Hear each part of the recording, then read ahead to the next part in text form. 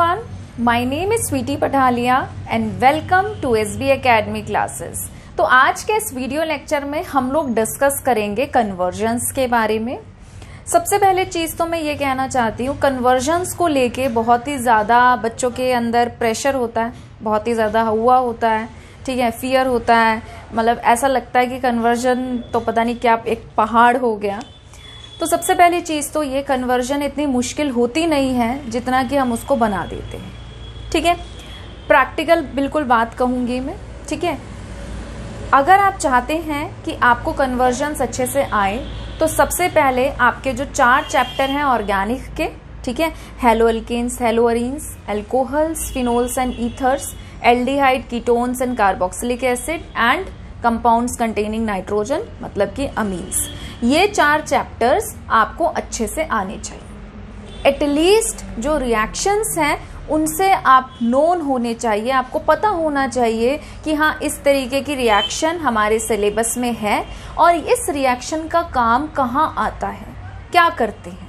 ठीक है? ये बिल्कुल सिंपल वैसे है कि सपोज़ आपको मैथ्स सीखनी है मैथ्स के आपको कुछ क्वेश्चंस करने हैं. ठीक है? बट अगर आपको एडिशन सब्ट्रैक्शन मल्टीप्लीकेशन डिवीज़न नहीं आता है तो आप किसी अच्छे क्वेश्चन को नहीं कर सकते। डिफरेंस समझ रहे हो? बात समझ रहे हो? ये होता है।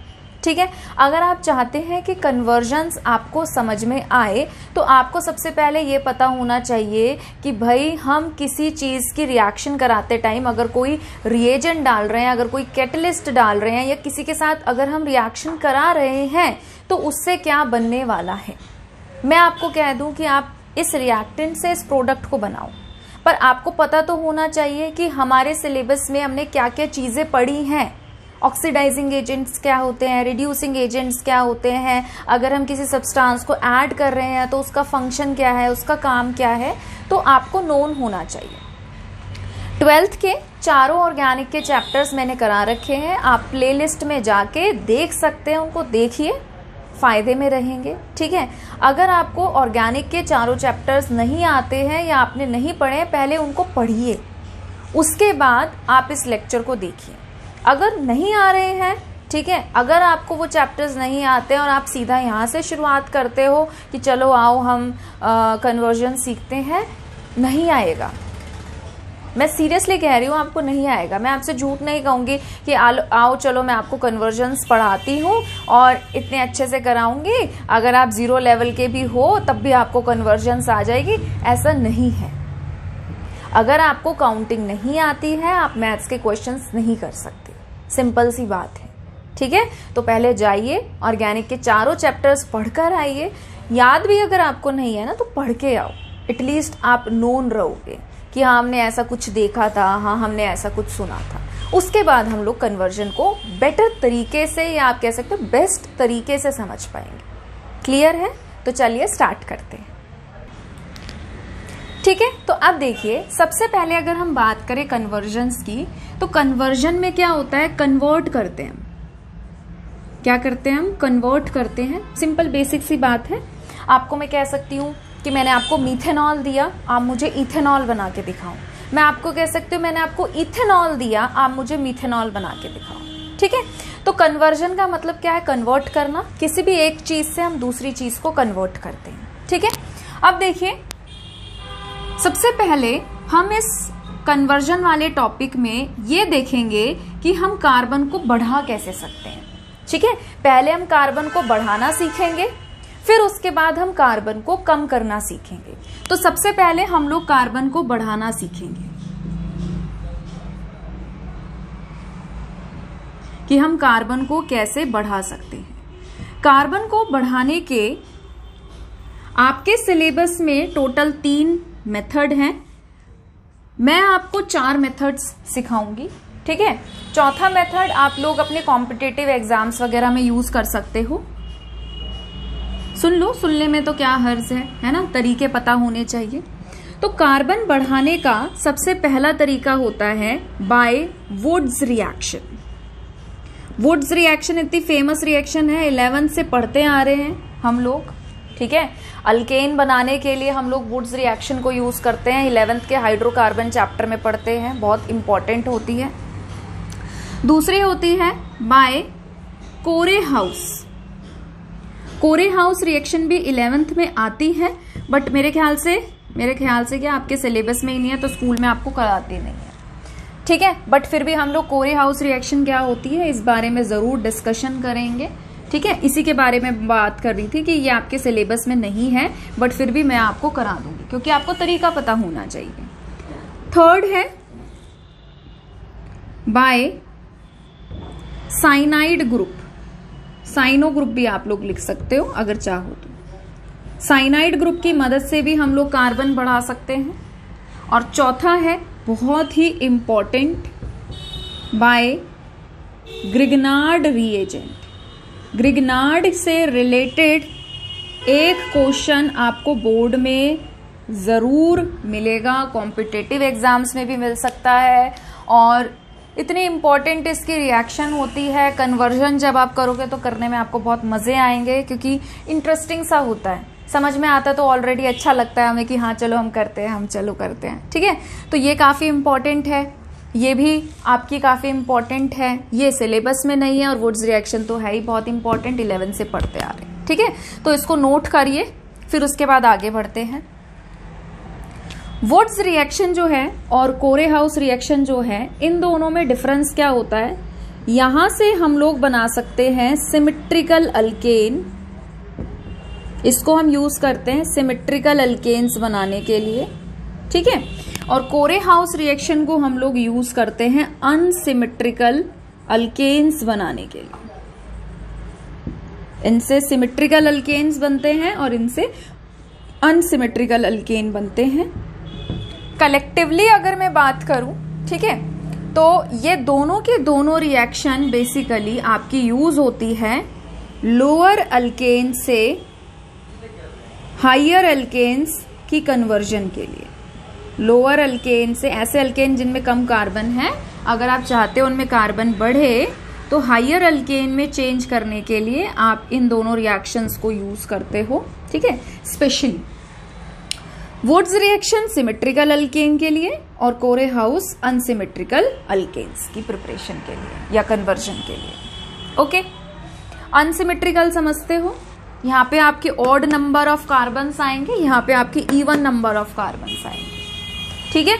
अब देखिए साइनाइड ग्रुप हो गया ग्रिगनार्ड रिएजेंट हो गया, इन रिएक्शंस को हम लोग ज़्यादातर यूज़ करते हैं। जैसे यहाँ पे क्या है, हम अल्केन स्पेशली अल्केन बनाने के लिए यूज़ कर रहे हैं, जैसे वुड्स रिएक्शन को। इन दोनों रिएक्शंस को हम लोग क्या करते हैं? अदर कंपाउंड्स बनाने के लिए या अदर कंपाउंड की कन्वर्जन के लिए यूज़ करते हैं। जैसे आपके अल्कोहल वेल्कोहल की रिएक्शन अमीन्स की रिएक्शन एल्डिहाइड की रिएक्शन वो ज़्यादातर आपको इनसे देखने को मिलेगी। अल्केन की रिएक्शंस जो हैं, वो ज़्यादातर आपको इनसे देखने को मिलेगी। ये मैं आपको क्यों बता रही हूँ? इससे भी थोड़ा थोड़ा ना हल्का हल्का हिंट लगने लग जाएगा आपको जब हम कन्वर्जन के क्वेश्चन करेंगे। मैं कहूँगी कि देखो अल्केन है या अल्केन बनाना है तो अल्केन के लिए कौन सी फ़ेमस रिएक्शन होती है तो आपके दिमाग में फटाफट आएगा वुड्स ठीक है? फिर दूसरे अदर कंपाउंड्स जो होते हैं अदर फंक्शनल ग्रुप जिनमें आ रहा होता है, उनके लिए हम लोग साइनाइड ग्रुप ग्रिगनाइड रिएजेंट इनकी मदद लेते हैं, ठीक है? और ये जो मेथड है, इन, ये चार मेथड अच्छे से अभी याद कर लो। अभी याद कर लो, ठीक है? कि हमारे पास ये चार तरीके होते हैं जिनसे हम कार्बन बढ़ा सकते हैं। जब भी आपके पास कन्वर्जन के क्वेश्चन आएँगे, आप सबसे पहला काम आपका क्या होगा? पैनिक नहीं होना। ठीक है? पैनिक बिल्कुल नहीं होना। दूसरी चीज़ आपके दिमाग में क्या आनी चाहिए कि क्या दे रखा है? क्या बनाना है? किसमें कन्वर्ट करना है? उनके स्ट्रक्चर लिखने हैं। सेकंड काम क्या होगा? ऑब्ज़र्व करके आप उनके स्ट्रक्चर लिखोगे कि अच्छा ये दे रखा है, ये बना रखा है। रिएक्टेंट में ये है प्रोडक्ट में हमें ये डालना है। क्या चेंजेस हैं? कार्बन बढ़ रहे हैं कि घट रहे हैं? अगर कार्बन बढ़ रहे हैं तो सबसे पहले आपके दिमाग में ये चार ऑप्शंस ही आने चाहिए कि इन चार तरीकों से मैं कार्बन को बढ़ा सकता हूँ या बढ़ा सकती हूँ। ठीक है? उसके बाद और ऑब्ज़र्व करो कि लोअर अल्केन से अगर हायर अल्केन बनाना है, देखो कैसा है सिमेट्रिकल है कि अनसिमेट्रिकल है। सीधा आंसर मिलेगा किस रिएक्शन से बनाना है। ठीक है? अगर आपको अल्केन नहीं बनाना है, अगर आपको अदर कंपाउंड्स बनाने हैं तो आपके दिमाग में ये दो रिएक्शंस आनी चाहिए कि अच्छा क्या हम इनकी मदद ले सकते हैं कार्बन बढ़ाने के लिए? क्या हम कुछ ऐसा करके, कुछ भी करके इन रिएक्शंस की मदद लेके, क्या हम कार्बन को बढ़ा सकते हैं? तो इस तरीके से स्टेप बाय स्टेप दिमाग चलाना है। ठीक है? कन्वर्जन बहुत आसान होती है। आप पढ़कर देखो, समझकर देखो आपको खुद को अंदर से लगेगा कि हाँ मुझे कन्वर्जन आ गई। ठीक है? सबसे पहले तो अपने अंदर का जो फियर है या जो आप लोग इतना पैनिक हो जाते हो कन्वर्जन है कन्वर्जन है, क्या करें तो वो चीज़ आप लोग निकाल दीजिए। दिमाग से, मन से निकाल दीजिए। और सबसे पहले दिमाग में ये डाल लो कि हाँ कन्वर्जन आसान होती है। सिर्फ़ हमारी सीखने की देर है, जो हम ऑलरेडी कर रहे हैं, सीख रहे हैं तो कन्वर्जन्स के क्वेश्चंस करने के लिए कुछ टाइम बाद हम कैपेबल हो जाएँगे। ठीक है? चलिए, अब आगे बढ़ते हैं। एक काम की बात जो आपको ध्यान रखनी है, जब भी हम इन चार मेथड्स को यूज़ करेंगे, ठीक है? मोस्टली मैं ये नहीं कह रही हूँ, हमेशा, ज़्यादातर, ठीक है? मोस्टली हम लोग क्या करेंगे, अपने जो भी स्टार्टिंग रिएजेंट है, उसको कोशिश करेंगे कि हम अल्काइल हेलाइड में चेंज कर सके। एल्काइल हेलाइड का दूसरा नाम क्या होता है? हेलो अल्केन ठीक है? अब ऐसा क्यों है? दिमाग में आना चाहिए कि ऐसा क्यों है कि हमारी प्रायोरिटी ये रहेगी कि जो भी हमारा स्टार्टिंग में कंपाउंड दे रखा है या रिएक्टेंट दे रखा है, उसको हम एल्काइल हेलाइड में चेंज करें। एल्काइल हेलाइड का दूसरा नाम क्या होता है? हेलो अल्केन ऐसा इसलिए होता है, आप, मैं आपको कह रही हूँ ना चैप्टर पढ़ के आऊँ ऐसा इसलिए है अगर आपने हेलो अल्केन चैप्टर पढ़ा है तो आपको ये चीज़ बहुत अच्छे से पता होगी कि हेलो अल्केन में सी एक्स बॉन्ड बनता है। हेलो अल्केन में कैसा बॉन्ड बनता है? कार्बन का और हेलोजन का। और हेलोजन्स क्या होते हैं? फ्लोरीन क्लोरीन ब्रोमीन आयोडीन जितने भी हेलोजन्स होते हैं, जितने भी हेलोजन्स होते हैं, वो सारे के सारे कार्बन से ज़्यादा इलेक्ट्रोनेगेटिव होते हैं। और अगर ज़्यादा इलेक्ट्रोनेगेटिव है तो क्या करेंगे? इलेक्ट्रॉन डेंसिटी को अपनी तरफ़ पुल करेंगे। अगर अपनी तरफ़ इलेक्ट्रॉन डेंसिटी को पुल कर रहे हैं, एक तरफ़ इलेक्ट्रॉन ज़्यादा, दूसरी तरफ़ इलेक्ट्रॉन डेंसिटी कम, जो बॉन्ड है, वो क्या हो जाएगा? वीक जो दोस्ती है, जो फ्रेंडशिप है, वो तब अच्छी चलती है ना कि मैं जितना कंट्रीब्यूशन कर रही हूँ फ्रेंडशिप में, मेरी फ्रेंड भी उतना ही कंट्रीब्यूट कर रही है। तो हम क्या रहेंगे? बहुत अच्छे फ्रेंड्स रहेंगे। ठीक है? बट एक का कंट्रीब्यूशन है और दूसरे का है ही नहीं। तो क्या फ्रेंडशिप चलेगी? नहीं चलेगी ना। एक फ्रेंड फेथफुल है, दूसरा है ही नहीं। तो in the same way chemistry में भी बॉन्ड तब स्ट्रांग बनता है जब दोनों की इलेक्ट्रॉन नेगेटिविटी सेम हो। ठीक है? जितने फोर्स ऑफ़ अट्रैक्शन से ये एटम इन बॉन्ड के इलेक्ट्रॉन को अट्रैक्ट कर रहा है, उतने ही फोर्स ऑफ़ अट्रैक्शन से ये भी कर रहा है। तो क्या रहेगी? इलेक्ट्रॉन डेंसिटी सिमेट्रिकल और बॉन्ड क्या रहेगा? स्ट्रॉन्ग ठीक है? तो आपको ध्यान रखना है कि जो भी हमारे हेलो अल्केन्स होते हैं, उनमें इलेक्ट्रॉन डेंसिटी जो है, वो क्या होती है? अलग अलग तो इलेक्ट्रॉन डेंसिटी के डिफरेंस की वजह से ये बॉन्ड होता है वीक जिसे हम केमिस्ट्री में कहते हैं पोलर और वीक बॉन्ड है तो जल्दी टूटेगा. और जल्दी जो टूटेगा, वो जल्दी रिएक्ट करेगा. तो क्योंकि ये रिएक्टिव होते हैं अपने पोलर कोवेलेंट बॉन्ड की वजह से इसीलिए हम स्टार्टिंग मटेरियल को या स्टार्टिंग रिएक्टेंट को स्टार्टिंग मटेरियल या स्टार्टिंग रिएक्टेंट को एल्काइल हेलाइड में चेंज करते हैं because they are very very reactive और जल्दी से इनके बीच का सी एक्स बॉन्ड जो है वो टूट जाता है। क्यों टूट जाता है? इलेक्ट्रॉन डेंसिटी सिमिट्रिकल नहीं है। क्यों सिमेट्रिकल नहीं है, क्योंकि इलेक्ट्रॉन नेगेटिविटी में डिफरेंस है। एक ज़्यादा इलेक्ट्रोनेगेटिव है, एक कम इलेक्ट्रोनेगेटिव क्लियर है? ठीक है? तो चलिए, अब हम क्या करते हैं? जो मैंने आपको चार रिएक्शंस बताई है ना एक एक करके पहले थोड़ा सा उनको समझ लेते हैं। ठीक है? फिर भाई पता तो होना चाहिए ना किस रिएक्शन में क्या होता है। उसी के बाद तो इम्प्लीमेंटेशन कर पाओगे। जिन्हें नहीं पता है, उनके लिए मैं बता देती हूँ। सबसे पहले हम लोग डिस्कस करते हैं वुड्स रिएक्शन कौन सी रिएक्शन वुड्स रिएक्शन बहुत ही फ़ेमस रिएक्शन है। याद रखा करो अगर केमिस्ट्री के स्टूडेंट्स हो तो। ठीक है? याद रखा करो। चलिए।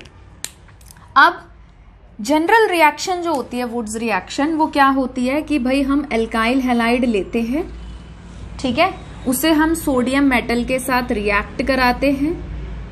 दो सोडियम के एटम लग रहे हैं एल्काइल हेलाइड के भी दो मॉलिक्यूल्स लगते हैं। In the presence of dry ether ठीक है? तो यहाँ से क्या होता है? एन बाहर निकलता है। यहाँ से क्या होता है? एन बाहर निकलता है। और ये आर इस आर के साथ कंबाइन करता है। और ये बनाता है हाइयर अल्केन अब देखो, जैसे मान लो तुमने यहाँ पे अगर सी एच थ्री एक्स लिया है।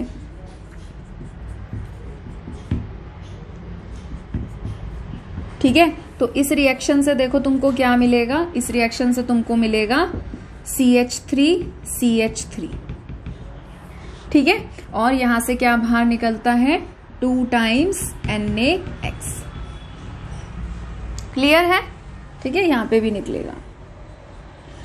तो आप ये देखो, ये होती है आपकी वुड्स रिएक्शन वुड्स रिएक्शन कब हो रही है? जब आपने क्या लिया? एल्काइल हेलाइड अब मान लो फॉर एग्ज़ाम्पल आपके पास क्वेश्चन आया कि भाई आपको कन्वर्ट करना है मीथेन को इथेन में. ठीक है? तो सबसे पहला काम क्या होगा? सबसे पहला काम स्ट्रक्चर नहीं लिखना है. सबसे पहला काम है पैनिक नहीं होना है. ठीक है? बहुत होते हो. तो सबसे पहला काम है पैनिक नहीं होना। ठीक है, ये मैं इसलिए कह रही हूँ। थोड़ा सा इजीली आप लाइट होकर समझो।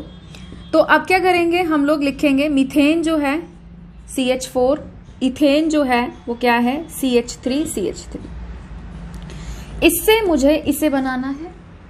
यहाँ पे एक कार्बन है, यहाँ पे दो कार्बन अल्केन से हाइयर अल्केन बनाना है। हाइयर अल्केन बनाना दिमाग में कौन सी रिएक्शन आनी चाहिए? Wurtz reaction Corey House reaction ठीक है? उसके बाद ये देखेंगे कि कैसा बनाना है। सिमेट्रिकल बनाना है कि अनसिमेट्रिकल बनाना है? तो यहाँ पे क्या है? इवन नंबर ऑफ़ कार्बन यानी कि सिमेट्रिकल तो हमारी किससे बन जाएगी? Would say. अब दिमाग में आना चाहिए कि अच्छा वुड्स रिएक्शन क्या होती है? वुड्स रिएक्शन ये होती है। ठीक है? अब वुड्स रिएक्शन के लिए क्या चाहिए होता है? एल्काइल हेलाइट हमारे पास स्टार्टिंग में क्या है? एल्केन तो सबसे पहले हम अल्केन से एल्काइल हेलाइड बनाएँगे। फिर एल्काइल हेलाइड बनाने के बाद हम लोग वुड्स लगा के अपना डिजायर्ड प्रोडक्ट बना लेंगे। ये कब बनेगा? ये तब बनेगा जब आपके पास सी एच थ्री एक्स होगा। सी एच थ्री एक्स कैसे बनाना है? सी एच फोर से उसके बारे में डिस्कशन करेंगे। ठीक है? अब अल्केन में अगर आप चाहते हो सब्सटीट्यूशन रिएक्शन कराना, ठीक है? हेलोजन को रिप्लेस करेगा सॉरी हाइड्रोजन को रिप्लेस करेगा हेलोजन एक ही तरीके से रिएक्शन होती है फ्री रेडिकल मैकेनिज्म याद रखो, ठीक है? अल्केन लाइट की प्रेजेंस में या हाई टेम्परेचर पे 500 से ऊपर जाता है टेम्परेचर ठीक है? तो लाइट या फिर हीट की प्रेजेंस में बहुत हाइयर टेम्परेचर पर क्या करता है? अगर आप हेलोजन डाल रहे हो तो जैसे कि सपोज़ आपके पास सी एच फोर है और आप इसकी क्लोरीन के साथ रिएक्शन करा रहे हो लाइट की प्रेजेंस में तो फ्री रेडिकल मैकेनिज्म होता है। क्लोरीन जो है वो होमोलिटिक फिशन के अकॉर्डिंग ब्रेक करता है। रेडिकल्स जनरेट होते हैं। C L radical C L radical ठीक है? और सी एच फोर जो है टेट्राएड्रल जोमेट्री होती है, पर अभी मैं फ़िलहाल नहीं बना रही। इसमें भी होमोलिटिक फिशन होता है। ये भी बनाएगा मिथाइल रेडिकल एच रेडिकल एक एच रेडिकल के साथ सी एल रेडिकल जुड़ेगा एच सी एल बनाएगा और सी एच थ्री रेडिकल के साथ ये रेडिकल जुड़ेगा, ये बनाएगा C H three C L ठीक है? तो यही तो चाहिए। यही तो चाहिए आप लोगों को। तो आप क्या कर सकते हो? सबसे पहला जो आपका काम होगा सी एच फोर में आप लोग डालोगे क्लोरीन और लाइट की प्रेजेंस में ठीक है? उसके बाद अच्छा कुछ बातें हैं जो ना मैं आपको बताना चाहती हूँ। कुछ बेसिक बेसिक सी बातें। ठीक है? जब भी हम कन्वर्जन करते हैं, जो भी आप डाल रहे हो, ठीक है? जैसे आपने क्लोरीन के साथ रिएक्शन कराई लाइट की प्रेजेंस में, उसे एरो के ऊपर लिखना है। अगर आपका कोई बाई प्रोडक्ट निकल रहा है एरो के नीचे माइनस करके बाई प्रोडक्ट दिखा दो। जैसे मान लो इसमें सपोज़ एच निकलेगा तो मैंने लिख दिया माइनस एच करके। ठीक है? यहाँ पे आप ऐसे नहीं करोगे। ठीक है? यहाँ पे आप ऐसे बाय प्रोडक्ट को नहीं लिखोगे। कन्वर्जेंस में बाय प्रोडक्ट को हम ऐसे नहीं लिखते। अगर आप बाय प्रोडक्ट लिखना चाहते हो, आप एरो के नीचे माइनस करके लिख दो। माइनस का मतलब यह है कि ये बाहर निकल गया। ठीक है? और भी कन्वर्जन में ना कुछ बातों का ध्यान रखना पड़ता है। जैसे कि सपोज़ आप मान लीजिए सपोज़ जैसे कि आपके पास टॉलिन है। ठीक है? और आप टॉलिन में का नाइट्रेशन करना चाहते हो, आपने नाइट्रेटिंग मिक्सचर डाला concentrated H N O three plus concentrated H two S O four ठीक है? आप इसका नाइट्रेशन करना चाह रहे हो और जब आप नाइट्रेशन करते हो तो आपको दो प्रोडक्ट मिलते हैं, ठीक है? ये ओर्थो एंड पैरा सब्सटीट्यूटिंग होता है। तो आपको एक मिलेगा ओर्थो पे एनओ टू ग्रुप और एक आपको मिलेगा पैरा पे। तो इस रिएक्शन से दो प्रोडक्ट मिलते हैं, ये सबको पता है। ये दुनिया जहाँ को पता है कि हाँ ये दो प्रोडक्ट मिलते हैं। बट जब आप कन्वर्जन कर रहे हो, अगर आपको इसकी रिक्वायरमेंट है ना तो आप इसको ही लिख कर रिएक्शन को आगे मतलब आगे के स्टेप को प्रोसीड कर जाओगे। आपको ऑर्थो वाला लिखने की ज़रूरत नहीं है। ठीक है? अगर आपको ऑर्थो वाले का काम है तो आप इस रिएक्शन को करा के ऑर्थो का लिख के आगे रिएक्शन को प्रोसीड करोगे। भाई, जिसमें और फर्दर कन्वर्ट करना है, आपको पैरा वाला लिखने की ज़रूरत नहीं है। तो कहने का मतलब क्या है? आसान शब्दों में उसको लिखते हैं, जिससे मतलब होता है, जो काम आने वाला है, जो काम नहीं आने वाला है, जो उसके साथ एज अ बाई प्रोडक्ट बन रहा है, या जो हमारा सेंटर ऑफ़ अट्रैक्शन नहीं है, उसको हम नहीं लिखते। तो पैनिक नहीं होना है कि अरे हम ये करते हैं, दो प्रोडक्ट बनता है मैडम ने यही क्यों लिखा, दूसरा क्यों नहीं लिखा? वो नहीं लिखते हैं, उसकी ज़रूरत नहीं होती है। क्लियर है? ठीक है? तो इस बात का आप ध्यान रखेंगे। साथ ही साथ, बहुत अच्छा तरीका रहेगा, बहुत अच्छी बात होती है, अगर आप मेंशन करते हुए चलो कि भाई आप कौन सी रिएक्शन कर रहे हो? जैसे अल्केन है। अल्केन में आपने क्लोरीन डाला लाइट की प्रेजेंस में डाला, आप यहाँ पे लिख सकते हो। हेलोजिनेशन कि हम भाई हेलोजिनेशन रिएक्शन कर रहे हैं। क्लियर है? ठीक है? और वो भी लिख सकते हो आपकी बाय प्रोडक्ट माइनस एचसीएल निकल गया। ठीक है? ये मैं बहुत बेसिक बेसिक सी बातें बता रही हूँ कि भाई मतलब इन सब चीज़ों का ध्यान रखा करो। अच्छी बातें होती है ये। ठीक है? जो आप नेग्लेक्ट कर देते हो। अब C H three C L बन गया। हमें यही चाहिए, है ना? हमें यही चाहिए। मैं यहाँ पे लिख देती हूँ C H three C L चाहिए। अब देखो एक और काम की बात। सी, अगर आप C H three C L आपको चाहिए, यहाँ पे आप टू टाइम्स नहीं लिखोगे। वुड्स रिएक्शन में हमें two times C H three C L चाहिए होता है बट आप क्या करोगे? आप यहाँ पे लिखोगे सोडियम आपको टू टाइम्स सोडियम लिखने की भी ज़रूरत नहीं है। आप लिखोगे ईथर और नीचे मेंशन कर दोगे वुड्स रिएक्शन तो वुड्स रिएक्शन जब आप नीचे नीचे आपने मेंशन कर दी, इसका मतलब कॉमन सी बात है कॉमन सेंस है वो कि वुड्स रिएक्शन मेंशन करने का मतलब ये है कि सोडियम दो टाइम टू टाइम्स लगेगा और आपका जो एल्काइल हेलाइड है ये भी टू टाइम्स लगेगा। ठीक है? तो पैनिक नहीं होना है कि वुड्स रिएक्शन में ये दो बार लगता है या सोडियम दो बार लिखता है। आप, लगता है। आप देखो, अगर क्या होगा, अगर आप यहाँ पे इसकी बैलेंसिंग करने चले तो आपकी आगे की चीज़ें खराब हो जाएँगी। आप लिखना चाहते हो, ठीक है? तो मुझे नहीं लगता उसके मार्क्स को ही काटेगा बट जब लिखा ही नहीं जाता तो क्यों लिखोगे? क्लियर है? ठीक है? उसके बाद चलो आगे बढ़ते हैं। वुड्स रिएक्शन हो गई भाई, लिख दिया। अब वुड्स रिएक्शन में प्रोडक्ट क्या बनता है ये? तो सिर्फ़ इसी को लिखेंगे। और यही हमें बनाना था। सोच रहे होगे, दो स्टेप है मैडम ने पता नहीं कितनी सी, कितनी कहानी सी सुना दी, ठीक है? पर मैं आपको काम की बातें बता रही थी कि भाई कन्वर्जन तो ठीक है, सीख रहे हो। उसके साथ उससे रिलेटेड बातें भी सीखो ताकि आपके राइटिंग स्किल्स जो हैं वो मतलब सुधरें, अच्छे हों, ठीक है? सिर्फ़ टॉपिक पढ़ना या आपके कॉन्सेप्ट अच्छा होना आपको एक अच्छा स्टूडेंट नहीं बनाता। आप अपना, आपने जो भी अंडरस्टैंड किया टॉपिक से रिलेटेड आप उसको कितना ब्यूटीफुली रिप्रेजेंट करते हो।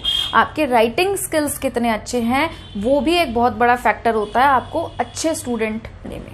ठीक है? तो पढ़ना भी अच्छे तरीके से है, समझना भी अच्छे तरीके से है, याद भी अच्छे तरीके से रखो और जब उसको रिप्रेजेंट करते हो तो उसको भी ब्यूटीफुली रिप्रेजेंट करो। ठीक है? नोट करिए इसको। नेक्स्ट रिएक्शन है हमारी। Corey House reaction Corey House reaction किस लिए फ़ेमस है? अगर हमें अनसिमेट्रिकल अल्कीन बना सॉरी अल्केन्स बनाना हो। कोरे हाउस रिएक्शन किसके लिए फ़ेमस है? अगर हमें अनसिमेट्रिकल अल्केन बनाना है तो।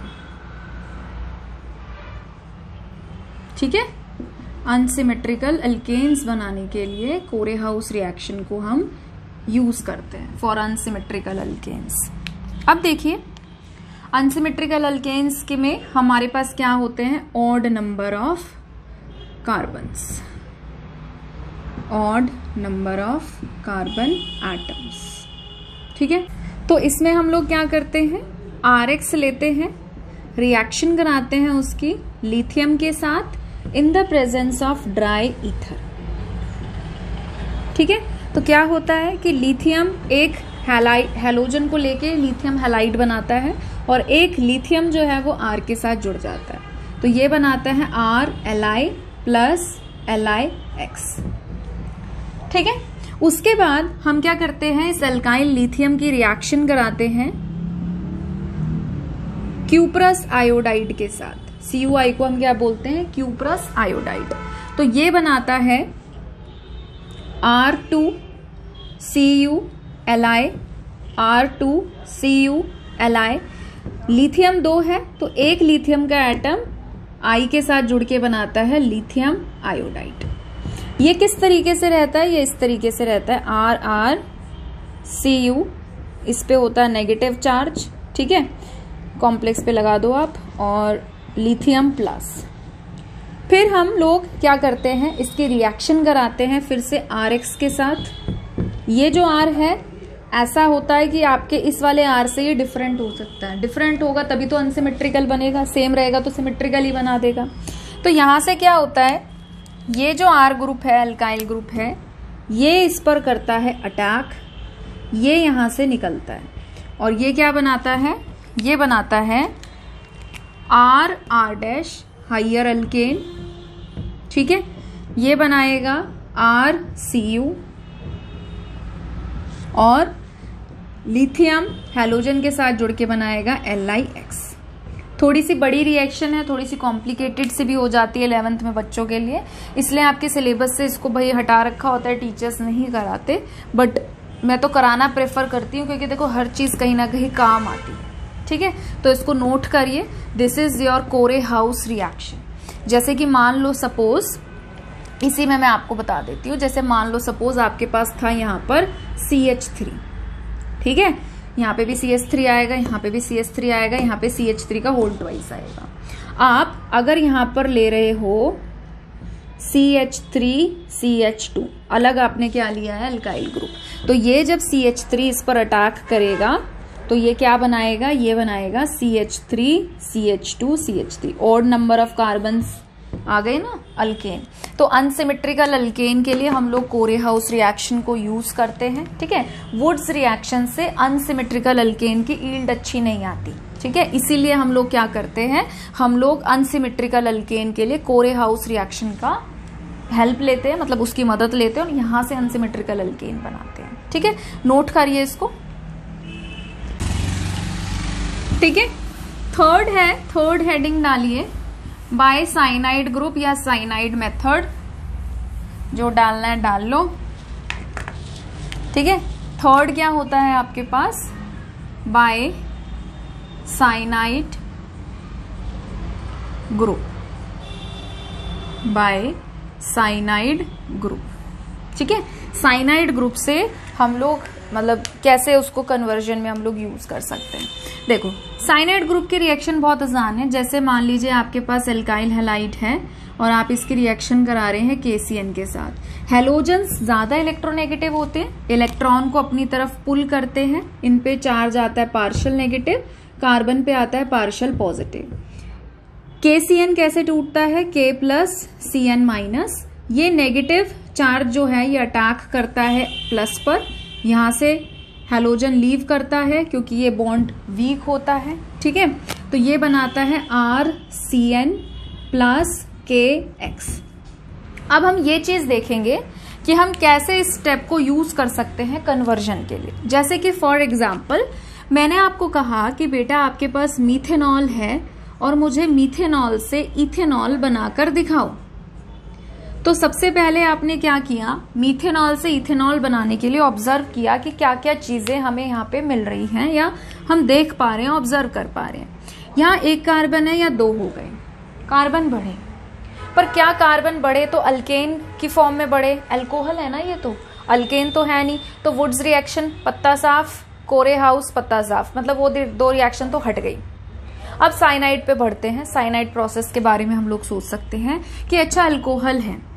पर क्या हम किसी तरीके से अल्कोहल को एल्काइल हेलाइड बना सकते हैं? क्योंकि हमें यह पता है एल्काइल हेलाइड जो है, वो बहुत रिएक्टिव होता है। सी एक्स बॉन्ड उसमें बहुत वीक होता है, जल्दी टूट जाता है, हमारे लिए रिएक्शन कैरिड आउट कराना। प्रैक्टिकली सोचो ना, जो वीक बॉन्ड है, जल्दी टूटेगा, जल्दी रिएक्ट करेगा रिएक्शन फटाफट हो जाएगी। सिंपल है ना? तो ठीक है? भाई, हम एल्काइल हेलाइड अगर हम एल्कोहल को एल्काइल हेलाइड में किसी तरीके से चेंज कर दें तो हम उसकी रिएक्शन केसीएन के साथ करा के एक कार्बन बढ़ा सकते हैं। फिर हम सीएन के बाद आगे का देखेंगे कि क्या हो सकता है। ठीक है? तो चलो, इतना तो हमें थोड़ा सा एक पाथ मिल गया, एक ट्रैक मिल गया सोचने का कि क्या क्या किया जा सकता है। ठीक है? तो अब देखो। एल्कोहल से एल्काइल हेलाइड बनाने के क्या क्या तरीके होते हैं? हेलो अल्केन में जब आप पढ़ोगे प्रिपरेशन सबसे पहला आपके पास मतलब यही टॉपिक आता है जो यहाँ पे इस टाइम यूज़ होगा। एल्कोहल से एल्काइल हेलाइड बनाने के तरीके देखो क्या है। आप लूकस रिएजेंट की मदद ले सकते हो ना?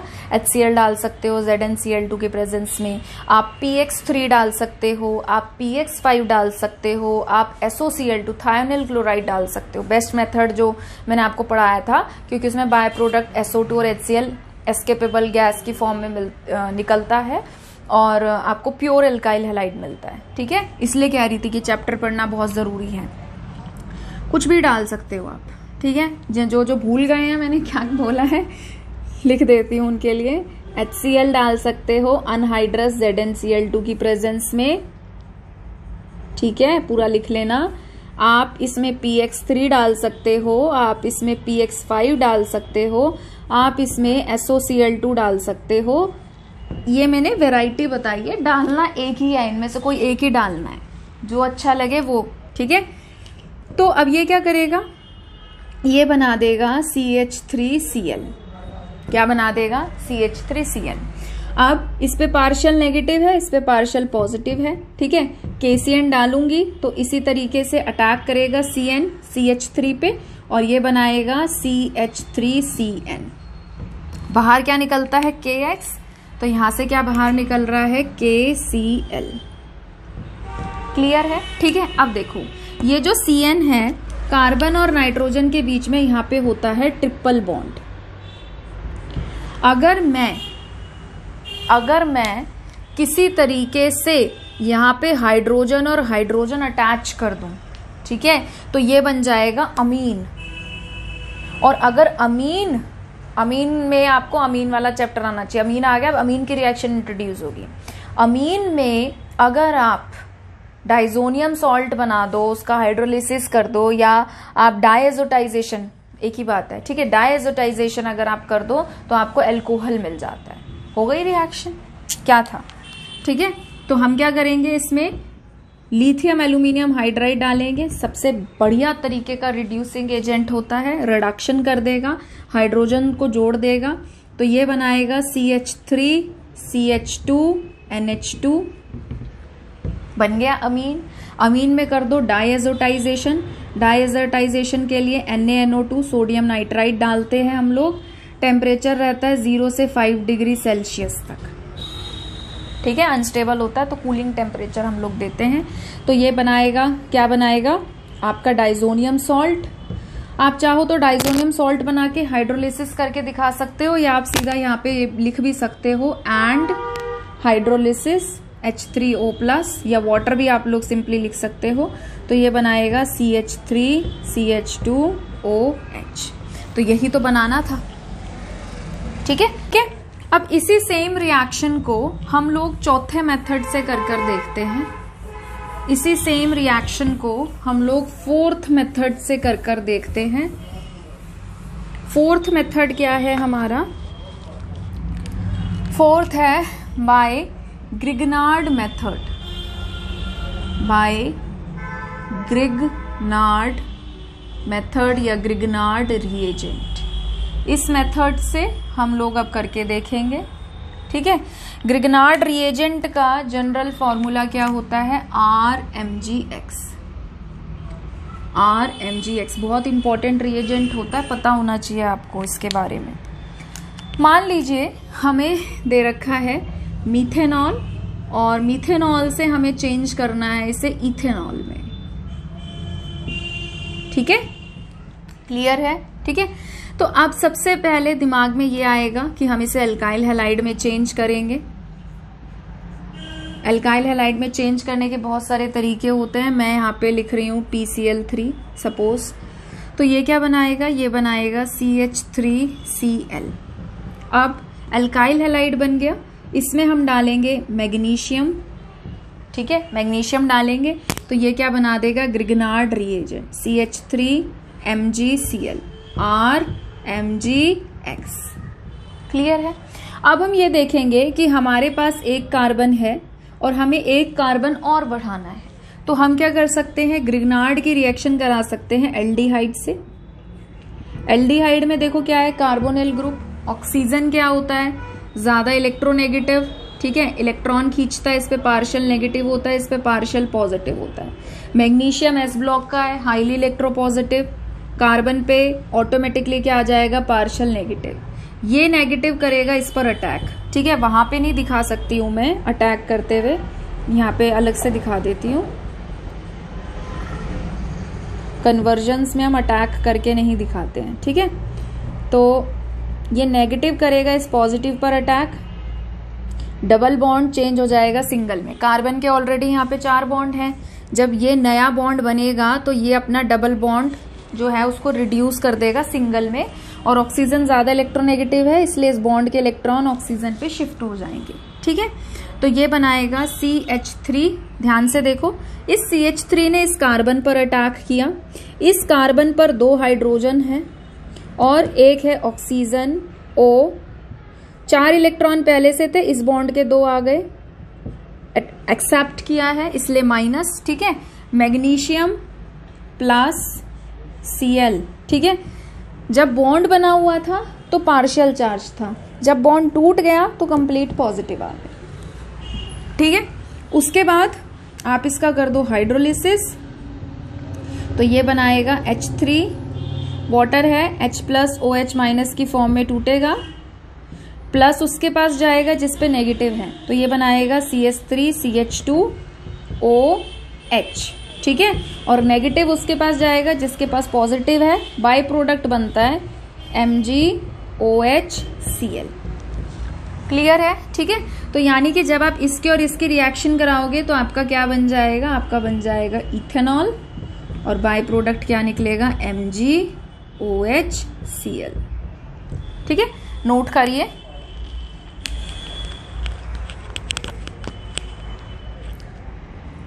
ठीक है? तो आज हम लोग यहीं पे स्टॉप कर रहे हैं। नेक्स्ट वीडियो लेक्चर में जो हमने आज ये चार रिएक्शंस पढ़ी हैं, इन्हीं पे क्वेश्चन प्रैक्टिस करेंगे। ठीक है? एक लेक्चर क्वेश्चन प्रैक्टिस का आएगा, फिर उसके बाद हम लोग थर्ड लेक्चर में डिस्कस करेंगे कि कार्बन को कैसे कम किया जा सकता है। ठीक है? आपको वीडियो लेक्चर कैसा लगा, मुझे कमेंट सेक्शन में ज़रूर बताइए। और अगर आपको ये वीडियो पसंद आया है तो प्लीज़ इसे लाइक करिए, शेयर करिए, चैनल को सब्सक्राइब करिए। जल्दी मिलेंगे एक नई वीडियो के साथ। अपना ध्यान रखिए। Thank you.